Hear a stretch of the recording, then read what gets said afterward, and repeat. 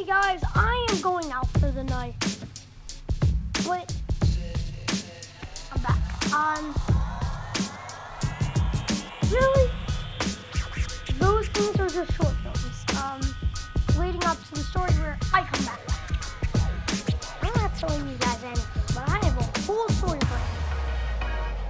But yeah, I'm peacing out for the night. I just wanted to say thank you, Becky and Mom, for doing this with me. Um, Becky and Mom, if you listen to this video.